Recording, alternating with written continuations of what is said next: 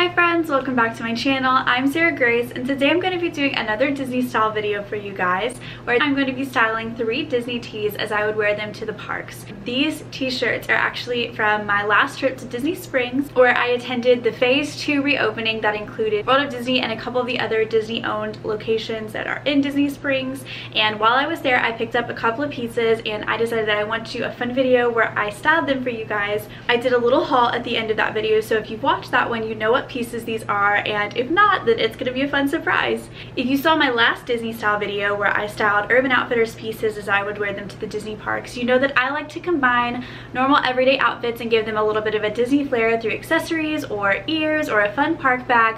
So this is going to be how I style pieces that already have a lot of Disney in them with my Disney t-shirt. Um, see what accessories I add with them and how I keep them Disney but still keep them fun and trendy and very much me. We're going to go ahead and get into the styling. I'm going to show you each piece before I show you how I styled it and whatnot. So the first piece is from Zara. And Zara is a great place if you want a fun Disney t-shirt. Obviously um, they're very trendy. They always keep very much in fashion and in style. This one is Dumbo and this one was super cute. I ended up getting it in a size large because it does have a structured oversized fit, but um, Zara does tend to run a little bit smaller.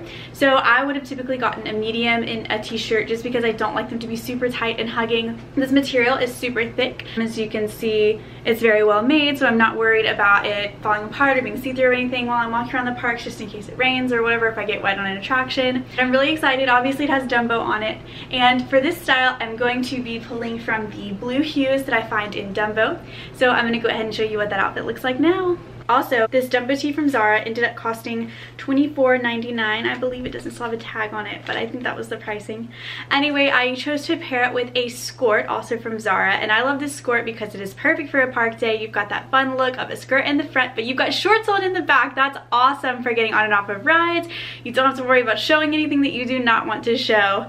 I also paired it with this blue headband because I wanted to pull the blue from Dumbo because he's such a pretty blue gray. And then I wore my wedges with it as well. I think that wedges are awesome for park days if you want something that is going to be cute yet comfy. These do not hurt my feet at all. I also wore a Dumbo Alex and Ani to give it another little Disney flair to it and obviously I love Dumbo a lot. Yeah, I did decide to go with a French tuck because I felt like that fit with the style really well and I wanted to get the detail of that button in the skirt. I would love to get a picture in this outfit when the parks do reopen over by the Dumbo attraction because it is so stinking cute and I think it would look perfect over there. I think the colors would balance out so well. And then my next two two pieces both came from Uniqlo. So for those of you who don't know, Uniqlo is actually a Japanese clothing designer and distributor for everyday casual wear and they make some of the cutest Disney tees. They're very unique and I've been a huge fan of them for a while. So this one is their it's like a bunch of Mickeys in a row and it's a really pretty blue color which I thought would be so fun in any of the parks. And again you have like a great material shirt. It's not too thin but it's gonna this one is thin enough that it's not gonna feel overwhelming when you're in the parks.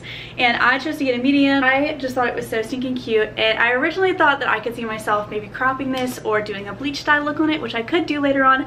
However I want to get some wear out of it in its original condition before I do any restructuring to the shirt but I think it's to be super fun. I will be styling it one way, but I could definitely style it so many other ways. I mean, this blue is just beautiful and it's got so much potential. I believe both of these were $14.99 but I think they were on sale so ended up being like yeah I think $14.99 is right they're around $15 but anyways it was a little more subtle top. I had a little bit more wiggle room with adding some Disney flair. Without it being too over the top so I went with a pair of simple Mickey ears and I ended up throwing on a Mickey bag as well. This little Mickey pass holder purse is actually from the little girls section at Shop Disney. I got mine from the World of Disney and Disney Springs as well and these shorts came from Free People.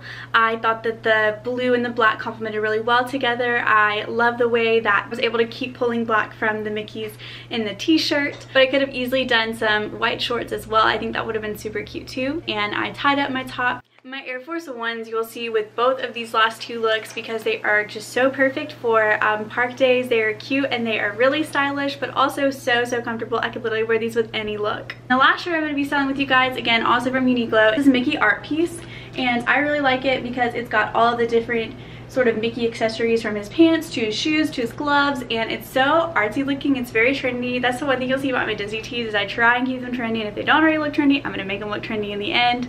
But I really liked this t-shirt. I got this one in a large because I wanted to fit very oversized and I think you'll see why in just a minute. But I was gonna get with a, go with a medium but unfortunately they didn't have a medium in stock and that's okay because I already had an idea for it so it was gonna work with my initial idea anyway. But I really like this look. It could get a little hot in the Florida heat so I probably would not wear this in the dead heat of summer. This is also like really a true unisex tee where I can see this looking really good on like a guy or a girl. And for my last look, this is a grungier look. I wish I could have some Backstreet Boys, New Kids on the Block playing in the background here, but I decided to go with a 90s look because this looked like a graffiti painting to me and I decided to lean into that. I went with a pair of whitewash jeans. These came from Urban Outfitters.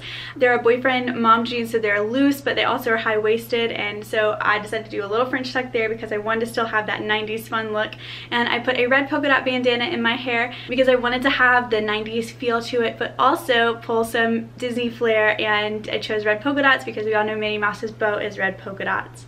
Again, it was 90s, so I want to keep it a little more of a funky look. One of the reasons that I love sharing my Disney style is I love helping others find their Disney style as well. I want you to know that just because you're wearing a Disney tee doesn't mean that you can't absolutely make it your own. Obviously, these came from big shops that sell to thousands of people every day. But I love getting to take pieces and absolutely make them my own and put my own style and flair to it, so I really encourage you to do the same.